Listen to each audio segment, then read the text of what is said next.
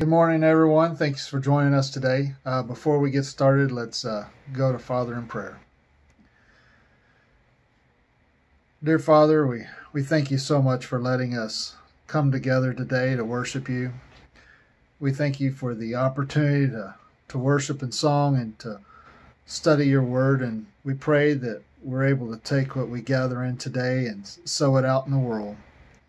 We pray that our worship today pleases you and, and glorifies your name, and, and we look forward to the time when you bring us back together under one roof. In Christ's name we pray. Amen. All right, join together in song. Okay, well, great. We're getting a chance. This a little bit different. We got a bunch of folks six feet apart, and uh, we've got socks on our head, no, so no one can hear us breathe or whatever. But we're going to sing for you and we would love to have you sing with us because we're getting closer to getting together again. So our first song is going to be How Great Thou Art. Mm-hmm. Oh Lord my God, when I in awesome wonder consider all the worlds thy hands have made, I see the stars and hear the rolling thunder, thy power throughout the universe displayed. Then sings my soul, my Savior God, to thee. How great thou art, how great thou art. Then sings my soul,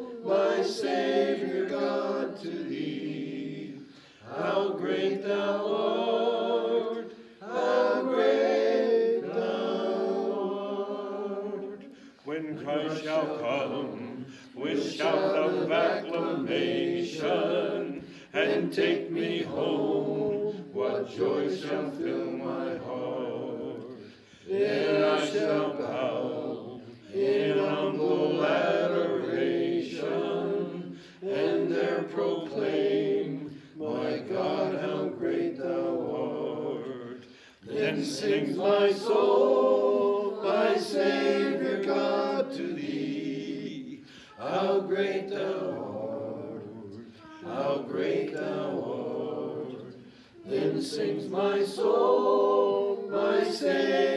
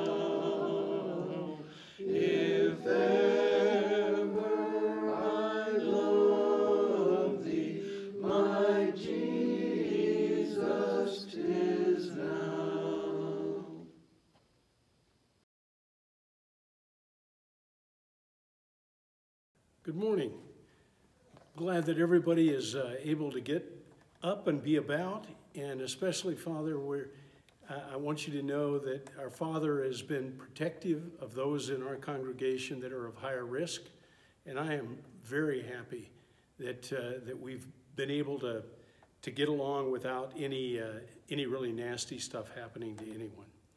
So as we uh, as we pray, let's keep in mind that God is, is the one who really is doing the work here. Let's pray. Father, thank you so much for taking care of those that are considered to be high risk, that you wrap your arms around and you keep them. Uh, keep them safe, Father.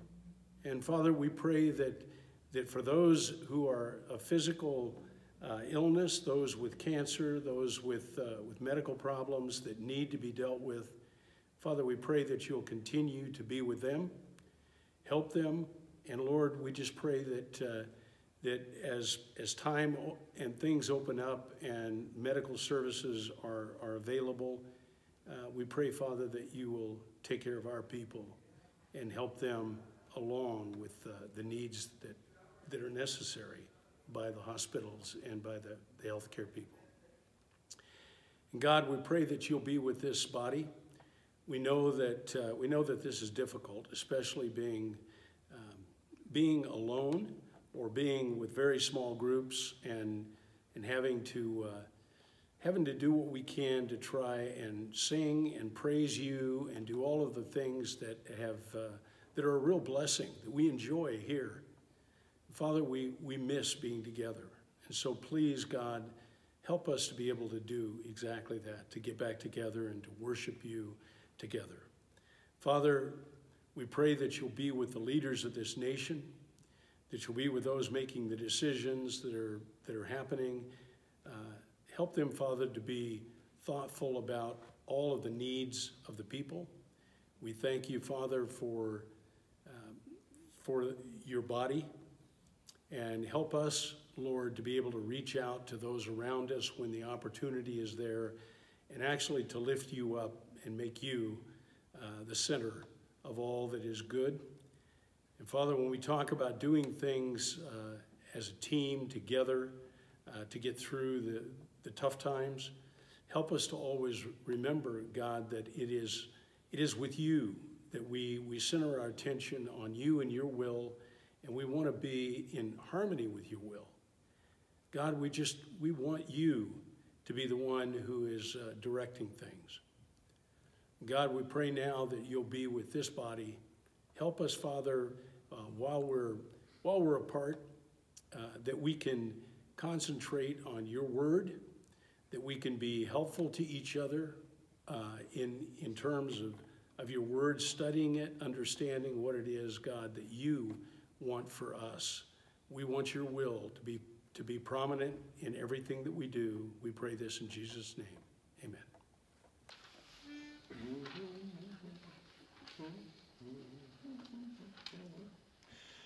King of my life, I crown thee now. Thine shall the glory be. Lest I forget thy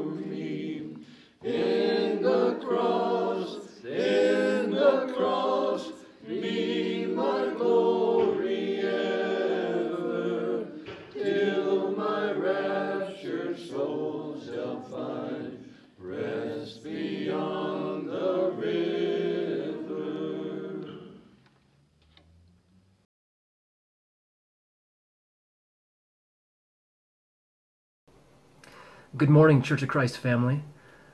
I have the opportunity to share a communion message with you this morning as we go to the table.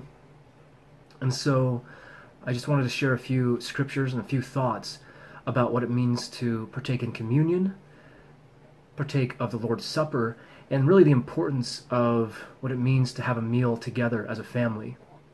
And as you may know, Jesus is constantly showing the importance of food as a symbol. And in the Last Supper, they partake of the bread, and he says that that's his own flesh. At one point, when the people ask for bread from heaven, the manna, such as the uh, Hebrews had in the desert, Jesus says, I am the bread of life. I am the, the bread from heaven. And the idea of feeding people is central to Jesus' message, not just with physical food, but with that spiritual food, because it shows how we need the Lord. We need Him to survive, we need Him for sustenance. And many of us know that. If we have a relationship with God, we know just how much we need His sustenance to live. What I want to share with you this morning is the fact that Jesus calls us to feed others. So not only do we rely on God for our provision and our food, but we're called to feed others. Physically, yes, with real actual food, but also spiritually. And so two verses that I think that really bring this to mind are the verses in John when he's when Peter's apologizing to him and Jesus says, "Peter, do you love me?" And and Peter's saying, "Of course I do." And so Jesus says to him, "Then feed my sheep." That Jesus chooses that as a symbol for love to to feed his sheep. And he would say that to us as well. Do we love Jesus? Okay, then let's feed the sheep, the the church of Christ, the, the people of Christ that follow him. And elsewhere in a very powerful passage in Matthew, Matthew 25, um, people are asking about the end times, and Jesus will say, "Well, I was hungry, and you gave me food." That's Jesus speaking. I that Jesus was hungry, and we gave him food. And people will say, "Lord, when did we do that? When did I ever feed you?" And he replies, "Truly I say to you, as you did it to one of the least of these my brothers, you did it to me." Wow. So not only does Jesus feed us, he's our bread, but he says, Feed my sheep. And yes, you fed me when you fed my sheep.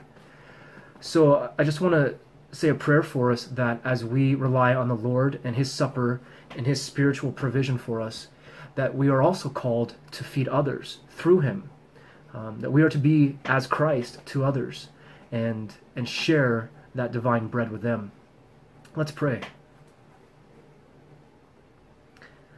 Lord God, um, you are our food, you are our provision, and in strange times such as these, Lord, we, we look to you more than ever, and, and it really is a good thing for us to be called to you, God, and say that um, it's not, you know, economic or uh, financial provision that's that's most important, God. Um, it's you, Lord. As long as we have you, we can make it through any crisis, any hardship. Um, and Lord, you emphasize the importance of us eating our daily bread. And Lord, you call us to feed your sheep, to feed your people, to feed your brothers and sisters. Lord, I ask, could you give us the opportunities, um, the heart, Lord, to really serve our, our, brothers and sisters. And Lord, that we can glorify you in this, Lord, and, and really all good things come from you. And then and sharing with others, Lord, we get to share you. Lord, we thank you and we pray this in, in Jesus' name. Amen.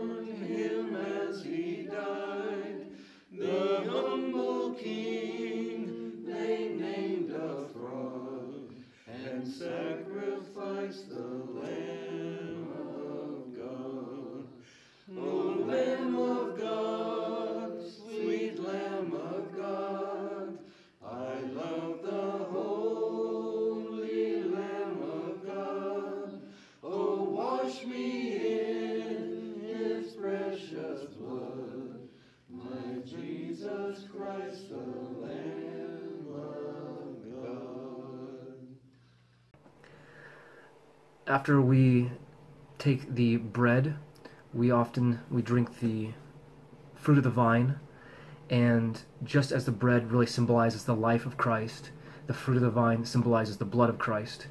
And the blood of Christ does mean sacrifice. That part of following Christ is the receiving his blood and recognizing what that blood means, the blood of sacrifice. And uh, as I spoke about the importance of us sharing food and sharing uh, that that bread of life, so also we share that cup of sacrifice, that that blood, and it's redemptive for us. We we receive forgiveness through His sacrifice, and I believe that as we partake of that, it is a call for us to remember sacrifice and that we must sacrifice. Jesus says that in order to gain life, we must give up our life.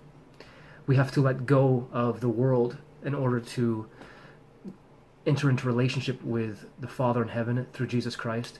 So we are called to live a life of sacrifice. And as we share with others, um, we will be sacrificing certain things our time, money, all of that. And um, most of all, we want to really sacrifice our ego, sacrifice ourself, sacrifice our desires of this world so that we can be redeemed in, in our heavenly calling.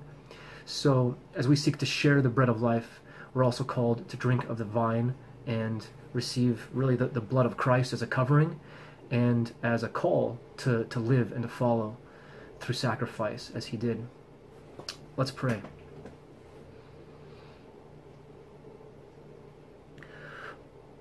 Lord God, uh, we know that Jesus' sacrifice does cover us and his blood redeems us, Lord. And entering into that redemption, Lord, that we too are called to sacrifice and, yes, to bear our own cross.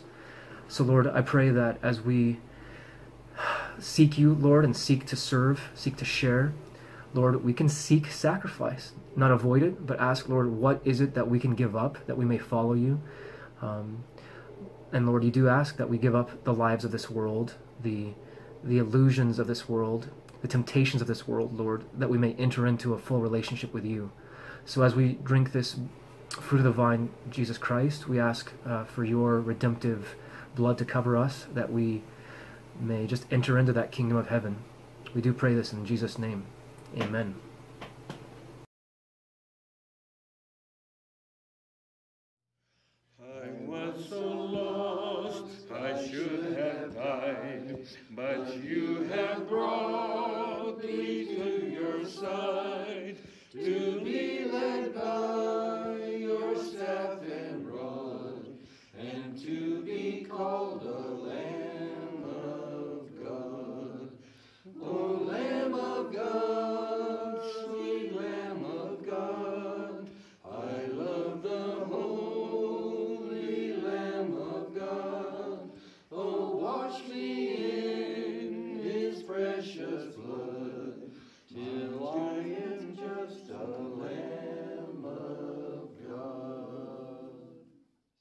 Finally, um, we use this time just to remind the congregation that we support one another through giving, and we do this financially uh, as well as with our time and other resources.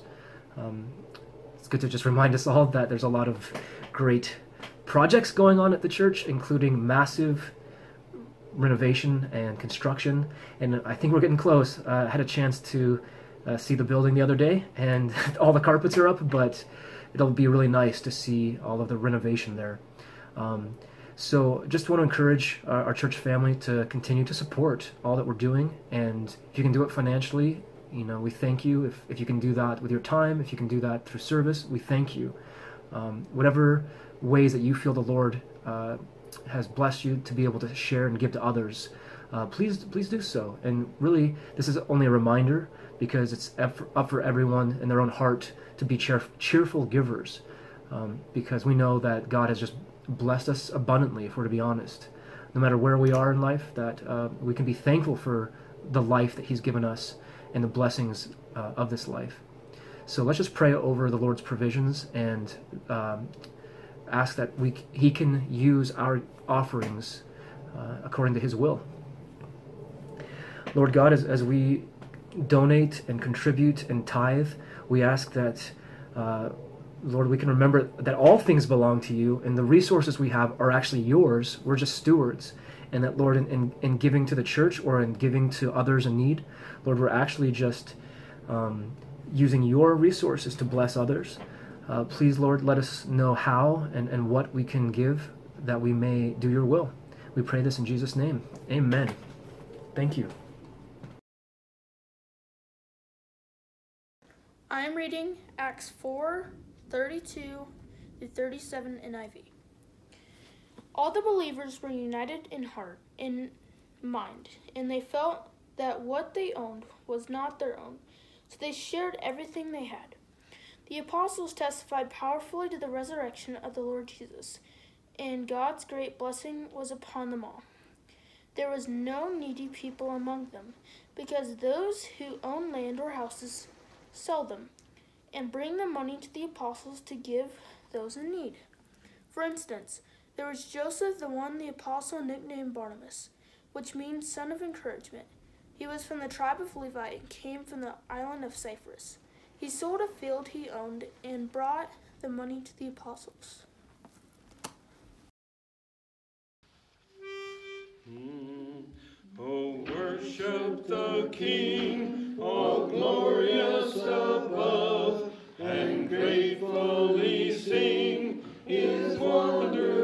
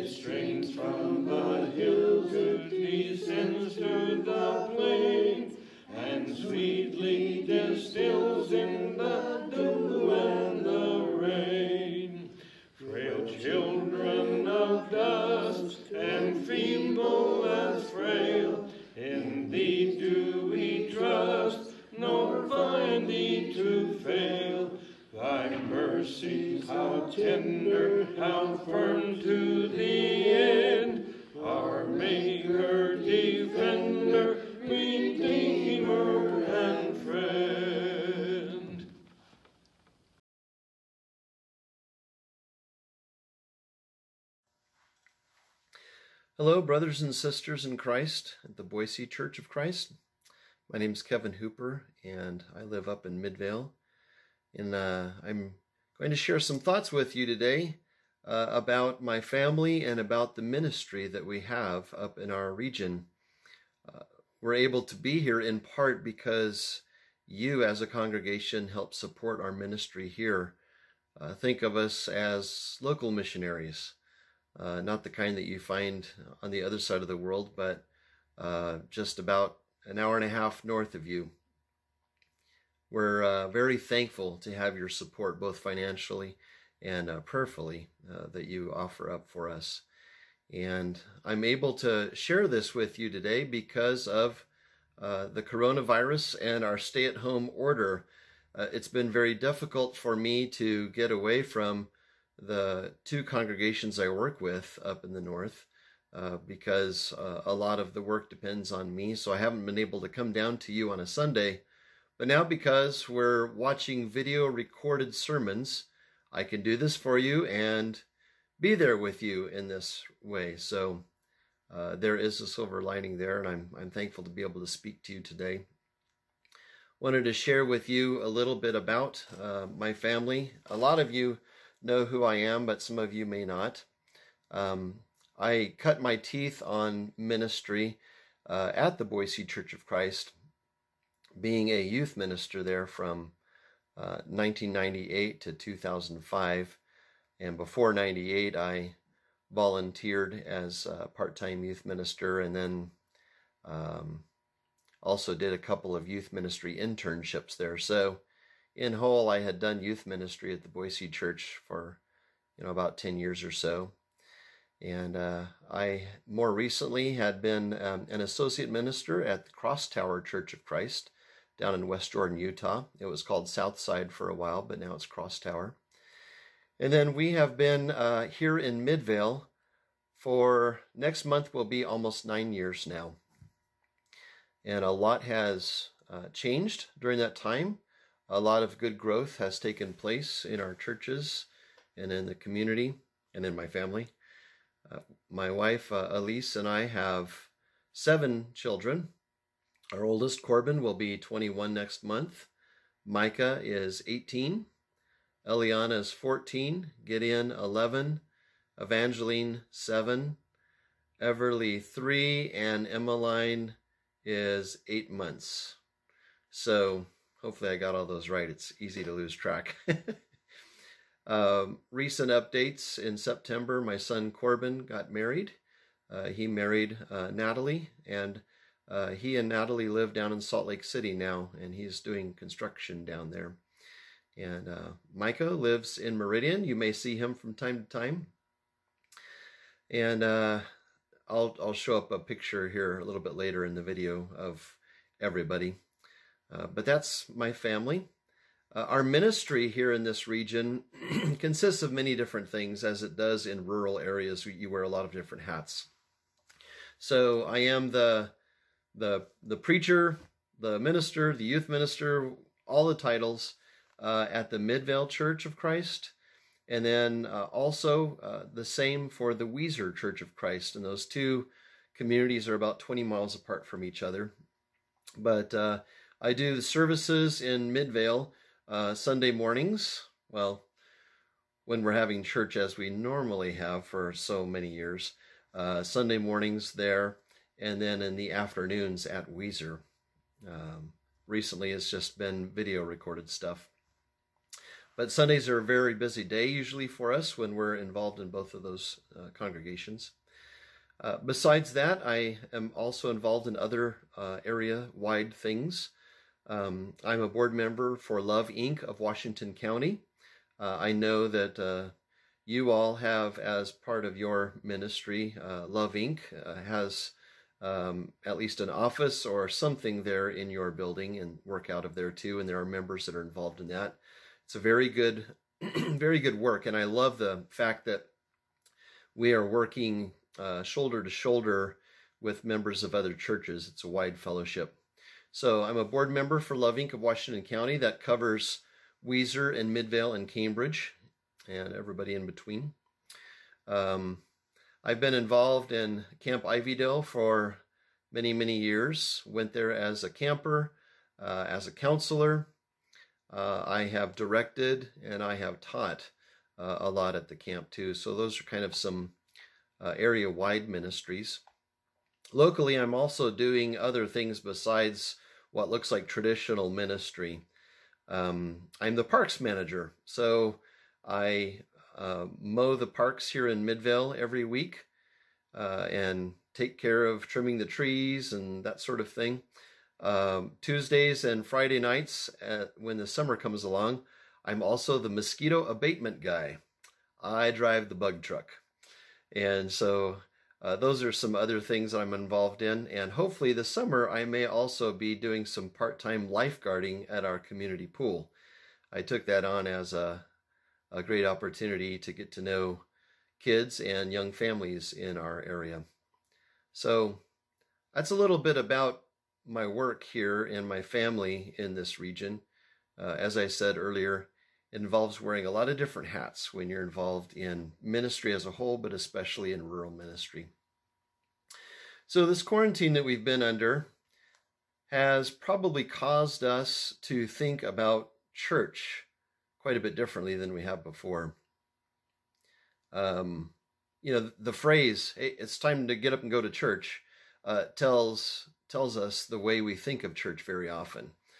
Um, we think about it as a place, or we think about it as um, a time. You know, Sunday morning for a couple of hours, that's church, or the place on the corner of uh, El Dorado and Poplar. That's a that's that's church. That's the way we have traditionally thought about that. Uh, although our language, we are quick to say, no, no, no, the church is the people, but we often think about church and practically about a place or a time. But since we haven't been able to meet together in those ways, it has caused us to think about church differently. And I'm, uh, for one, thankful uh, for that opportunity. Um, it's made me think about the early church that we read about in the book of Acts a little bit. And so today I'm going to look at three different passages uh, Acts 2 41 through 47, Acts 4 32 through 35, and Acts 5 verses 12 through 16. The author of the book of Acts is uh, the physician, Luke, and at times he's a partner with Paul in his missionary work, at times he's not.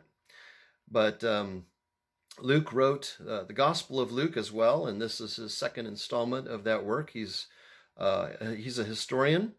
He has a great desire to get all the facts straight. He says that to Theophilus, who he writes in the introduction to the Gospel of Luke and also in the book of Acts. He, he wants to say, I have really um, gone to great lengths to interview eyewitnesses to make sure all of these facts are straight so that you can be certain about what I'm sharing with you, Theophilus.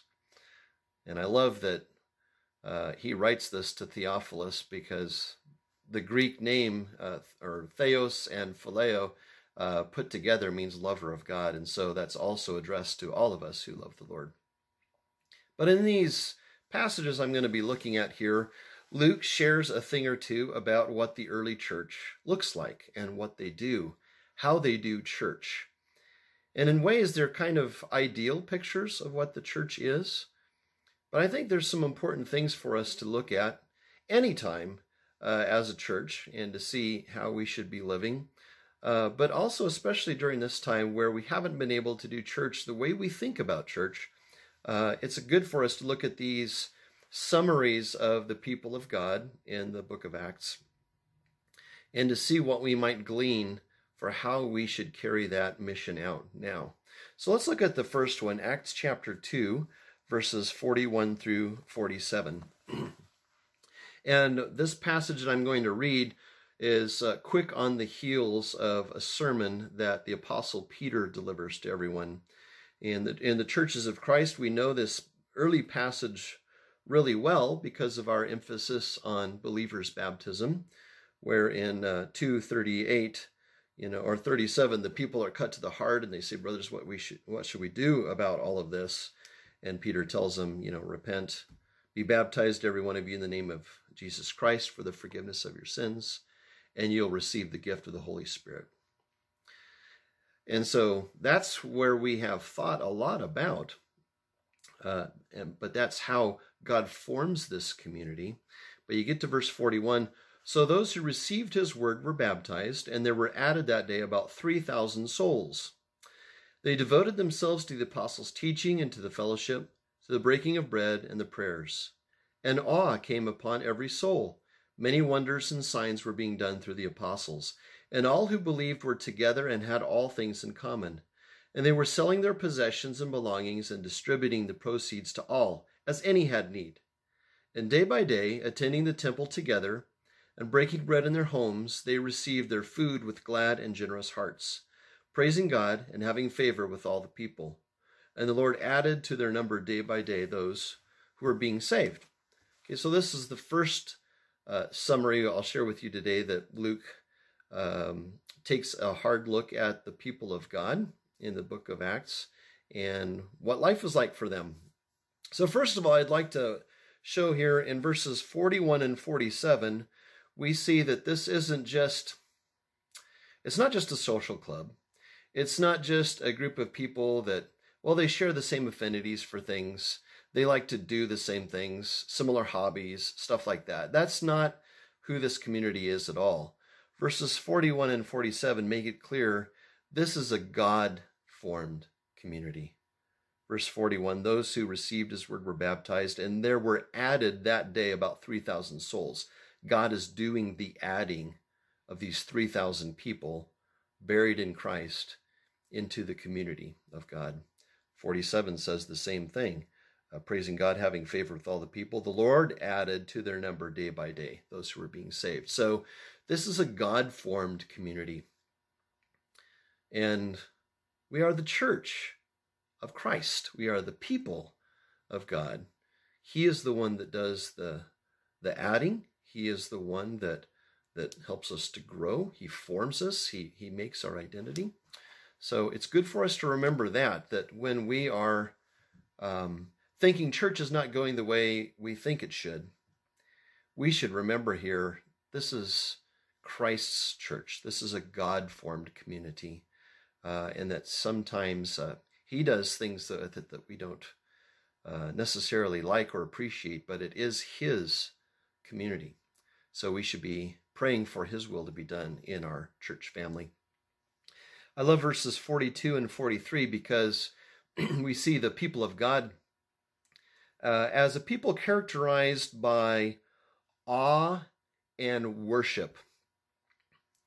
So that word awe or awesome gets thrown around a lot.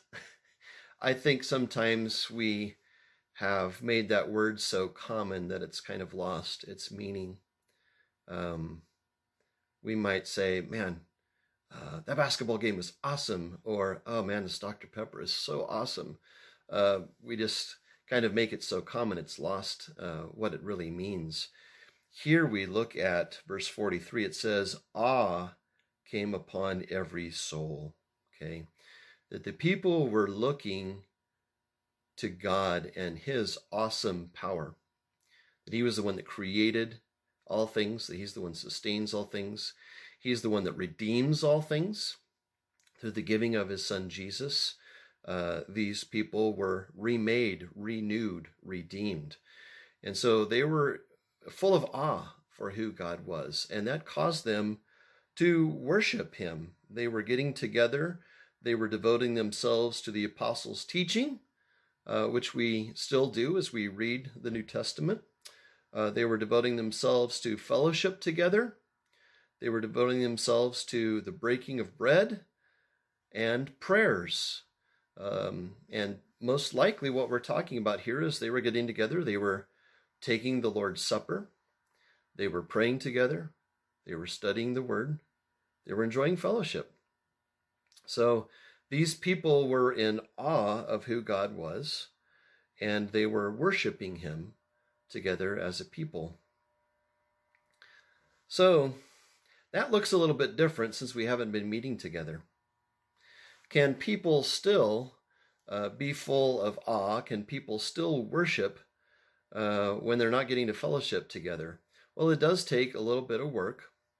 Uh, hopefully, you have been in your homes still singing to the Lord, still devoting yourselves to uh, the, the Word of God, still sharing uh, the Lord's Supper in your homes, uh, still in awe of who God is, even though you haven't been able to be together with His people.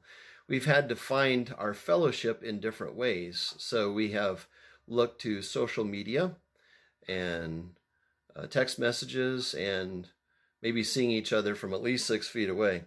Uh, those kinds of things, we're still finding fellowship. But uh, this the passage of scripture we're looking at sees a group of people that are full of awe because they're focusing on God and what He's done, and it results in worship. And as I remember, my uh, college choir director and an elder at the Boise Church of Christ, Dick Dalzell, used to say, uh, he said that worship, uh, worship comes from an old English word, worthship. So when we worship Lord, we're saying, that he is worthy. We're proclaiming his worth in our lives. And if your worship is not heartfelt, if it's hollow, if you don't enjoy the song, uh, it could be that you're not really looking at God in awe, but maybe you're looking at yourself.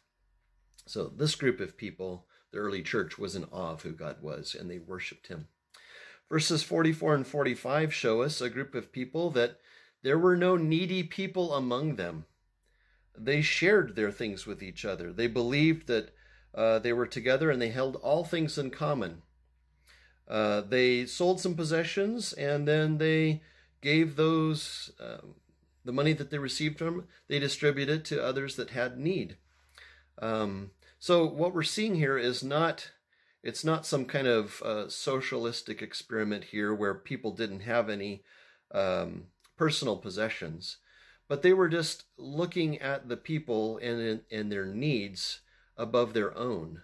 And so if they saw somebody who was in great need, then they would sell some things and they would take care of it, or they would share their possessions with other people. And maybe you've experienced that. I know I have in my life. Um, I can think about the time when our uh, family suburban was broken down and I didn't have another vehicle to lean on, um, my good friend and brother at the Weiser Church of Christ, Warren Tell, said, Here, why don't you use my truck for a couple of weeks? And so uh, we were very thankful for him sharing that with you. And, and probably every one of you has a story like that. The early church, uh, there were no needy among them because they counted one another's needs above their own. Verses 46 and 47 show us a group of people that are full of joy and they praise God. And they have, because of that, they have a good reputation. Okay, so day by day they were attending the temple together and breaking bread in their homes. They received their food with glad and generous hearts. They praised God and had favor of all the people. So here's a group of people that no matter what's going on, whether it's good times or bad, uh, they counted it all joy. Uh, they were um, praising God for who He is and who uh, what He has done for them. So they were praising Him, and the people outside of this community of believers looked in and said, "Wow." Even though things aren't perfect for these people, even though that guy lost his job, or even though this guy uh, lost his wife uh, to some illness, or even though their children are struggling and rebelling against them, or on and on, you can insert various life situations.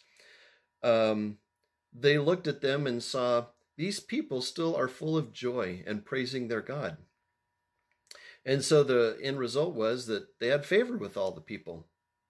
Uh, I think that's an important thing for us to think about here is that uh, the God formed community, uh, full of joy, full of praise for God, uh, that's a good thing for the community itself, but outside of that community is an attractive thing too. And people want to be a part of that. So, this is a snapshot of uh, who the early church is.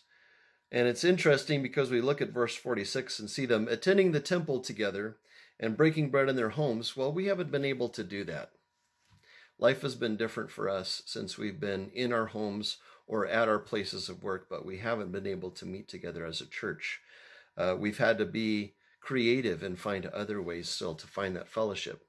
And I know we have up in Midvale and in Weiser, and I trust that you have as well. Uh, we can still have joy and still praise the Lord, even though we're not able to meet together in the four walls of the, the church building. Let's look at the next passage, Acts chapter 4, verses 32 through 35. Here's another one of Luke's summaries of the early church, 32 through 35 of Acts 4. Now the full number of those who believed were of one heart and soul, and no one said that any of the things that belonged to him was his own, but they had everything in common. And with great power the apostles were giving their testimony to the resurrection of the Lord Jesus, and great grace was upon them all. There was not a needy person among them, for as many as were owners of land or houses sold them and brought the proceeds of what was sold, and laid it at the apostles' feet, and it was distributed to each as any had need. Okay, so we get uh, another summary here of the early church, and we see some more characteristics that stand out. Um, first of all, this is a group of people in 32 that tell us the, this is a unified group. This is one body of people. Okay? They were of one heart and one soul. That is a beautiful thing. One of my favorite passages of Scripture is Psalm uh, 133, where it says, Behold, how good and pleasant it is when brothers and sisters dwell together in unity. That's what it is when a people are dedicated to a selfless Lord and not thinking about themselves, when they put the needs of others ahead of them, that promotes unity. And we see that here in this group of people unity. Uh, we see um, the outflow of that unity is, again, in verses 34 and 35, that there's no needy among them. Uh, they're so unified, they're caring for one another naturally, organically, uh, and easily.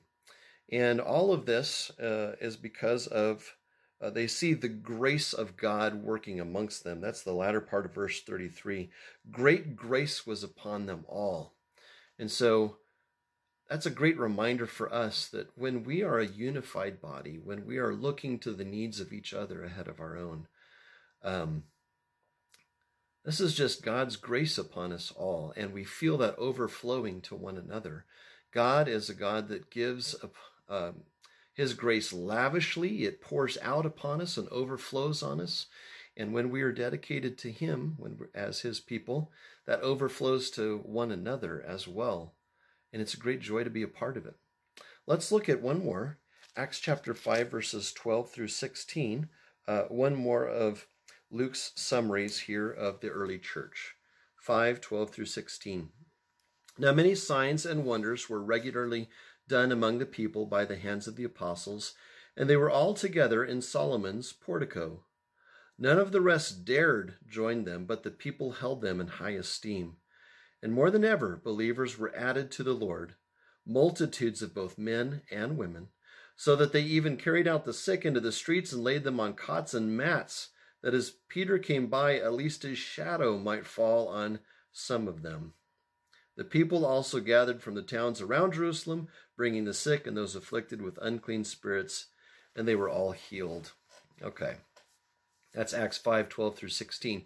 Again, we see another um, indication that this people, they were a unified group uh, in verse 12. They were all together, okay, in Solomon's portico.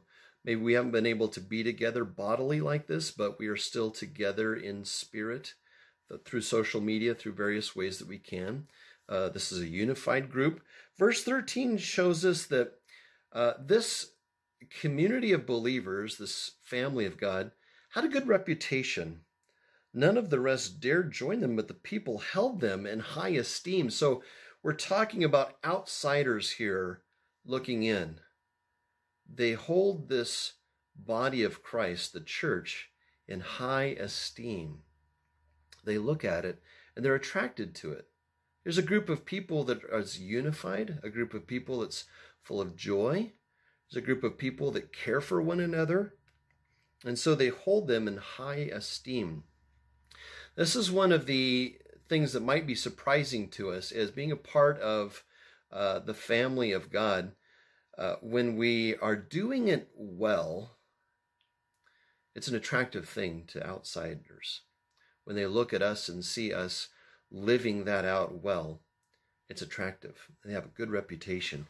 Verse 14, this, this good reputation means that uh, the community grows. Okay, more than ever. Believers were added to the Lord, multitudes of both men and women. They're being attracted to this group of people, and God is adding to their group. And then verses 15 and 16, kind of a strange thing. Um, we don't see this much. um, people from outside of this community are bringing the sick there, and the people are being healed. Now, I have yet to see an actual healing in, um, you know, one of our assemblies, but I have seen lives mended. I have seen evil put away. I have seen people filled with good. I have seen broken families healed. I have seen marriages healed. I've seen people who were fraught with depression healed. Uh, so, this is one of the outpourings, one of the missions of the church, is that as we're together unified, as we're worshiping the Lord full of awe, as we're full of joy, as we're caring for one another, this results in healing in the community. And so that can still happen. Um, the church, wherever you are meeting, regardless of the building or your home, uh, you as a people can attract people to Christ and people's lives can be healed. So let me finish uh, with just a few practical thoughts here. Uh, Tim Keller wrote uh, Everyone says they want community and deep friendship, However, because it takes accountability and commitment, we run the other way. So it's easy for us to look at these summaries of the early church in the book of Acts and go, "Wow, that's beautiful. That's that's who we should be." And that's true, but it takes work. It takes sacrifice. It takes compromise at times where not maybe on we should never compromise on the gospel or the core teachings of who Jesus is, but compromise on our personal desires, the things that we want, the things that we like. We need to compromise there for the good of the body, okay? Because it's Christ's church, it's his people, not mine. It takes work, uh, it takes accountability, it takes commitment for us to be this way. We need to remember that. So, something to encourage us here is that we need to be recognizing that God is at work in our people. Sometimes we can get overwhelmed thinking, what kind of, we need to come up with some kind of new program or some new class or some new thing that we can do that will bring in more people. No. Chapter 2, verses 41 and 47 remind us God is the one at work. God is the one that adds to this community. So, what should you do? You should pray that God will add to the family, that God would add to his body. It's his work. And so we pray for his will to be done. That takes a lot of pressure off of us, and uh, that puts it back on him, who is the one that redeems and adds to his family. Uh, we should be a people that assemble for worship as we can. And as I said, we haven't been able to do that for several weeks now. Uh, but we see that's an important thing for the people of God. You can be doing that in your homes as well.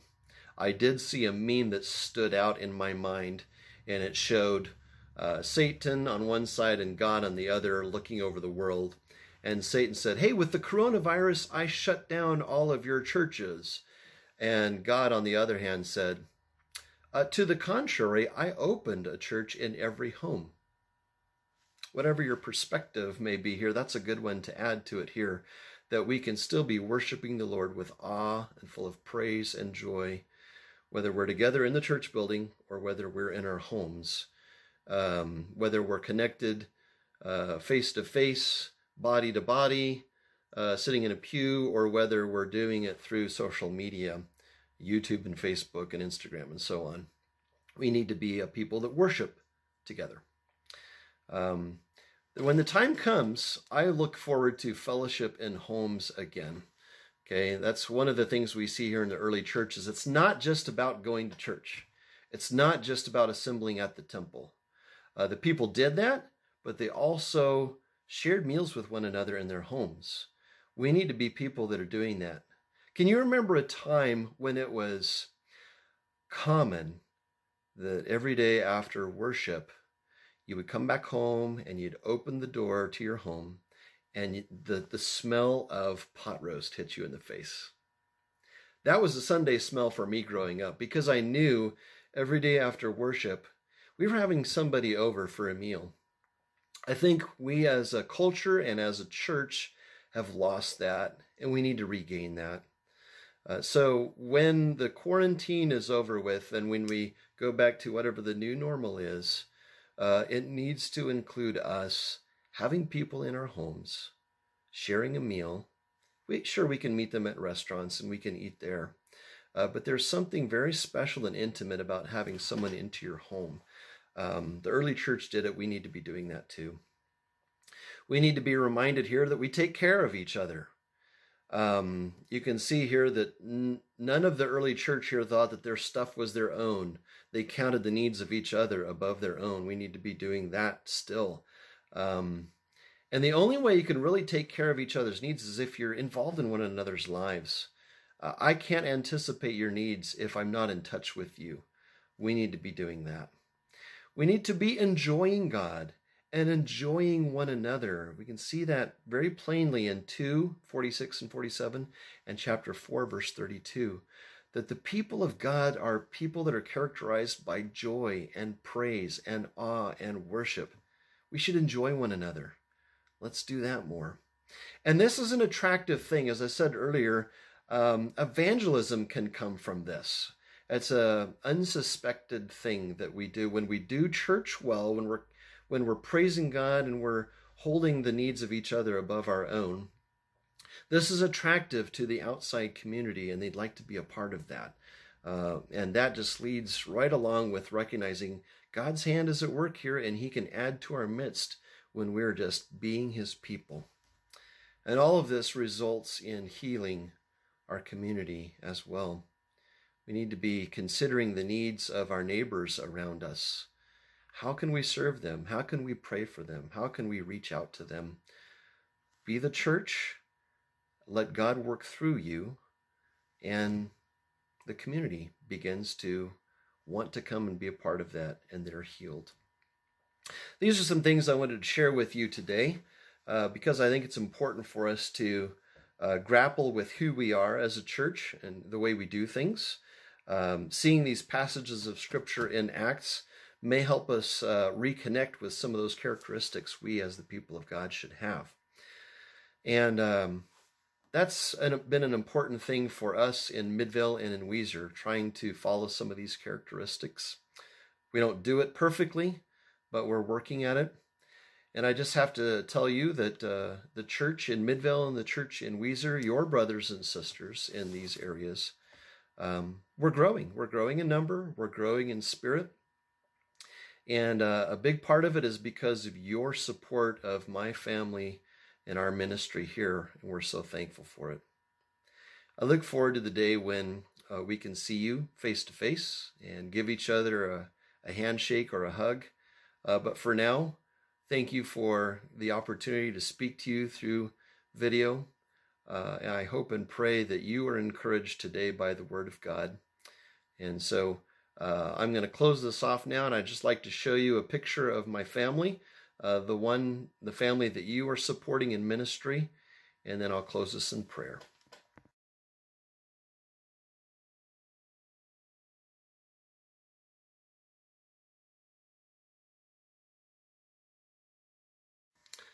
All right, pray with me, please. God, Father, I thank you for my brothers and sisters at the Boise Church of Christ. I thank you for their willingness to partner with my family, um, with the ministry that you do through us up in Midvale and Weiser in Washington County. I'm thankful for their prayerful support. I'm thankful for their financial support. And I pray now, Father, that you would encourage them where they are, that uh, very soon um, the effects of coronavirus would come to an end, that uh, your people, your communities would be a healing force in this time, that uh, we would be able to gather back together uh, bodily as a people. But in the meantime, Father, I just pray that you would uh, help your church still to feel unified, even though they're not able to be together encourage each brother and sister today in their homes or wherever it is that they see this. And I pray, Father, that you'd help us to glean from your word today, that as we see your God formed community in the book of Acts, that you will help us to emulate some of these characteristics, uh, that we will recognize you are at work in our church family, and that you uh, desire for us to be unified, full of joy, and that we would share with one another, we would care for one another, and that this would be an attractive thing to the community around us. So uh, we pray today, Father, that your word would be a seed planted deep in our hearts, and that it would grow to fruition and bring about a great harvest.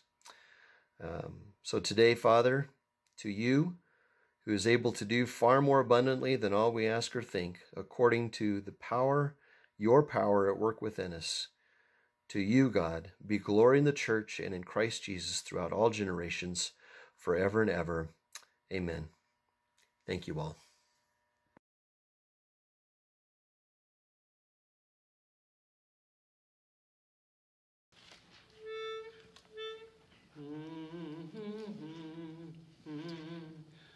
Would you be free from the burden of sin? There's power in the blood, the power in the blood. Would you or evil a victory win? There's wonderful power in the blood. There is power, power, wonder working power in the blood, in the blood of the Lamb, of the Lamb. There is power, there is power, wonder working power in the precious blood of the Lamb.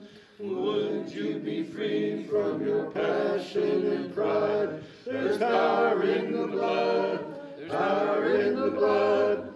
Come for a cleansing to Calvary's side. There's wonderful power in the blood. There is power, power, wonder working power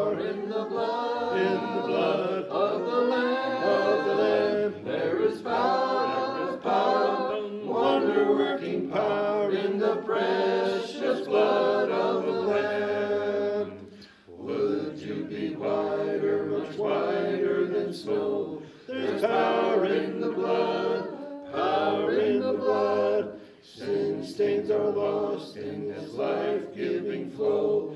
There's wonderful power in the blood. There's power,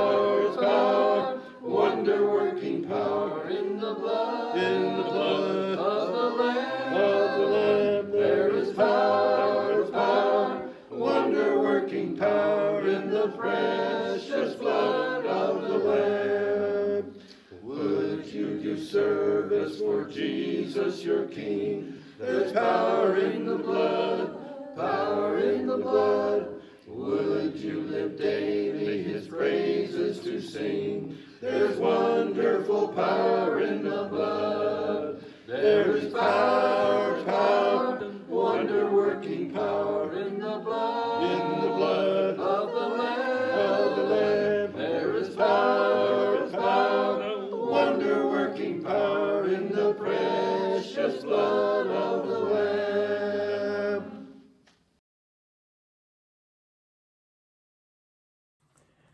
Thank you, Kevin, for your sermon this morning.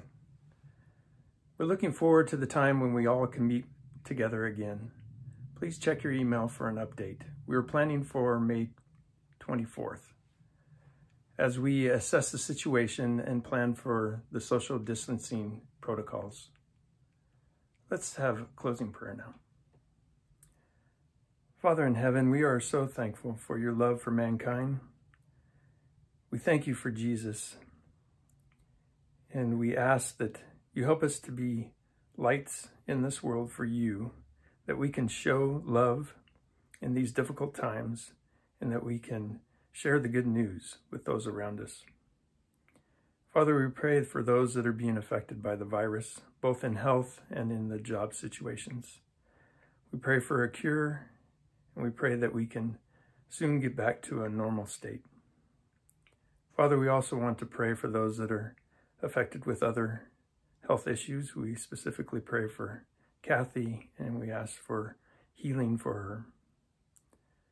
Thank you for this morning and thank you that we can still have the opportunity to be together through virtual means. Father, we thank you for Jesus. It's in his name that we pray. Amen. Have a good afternoon.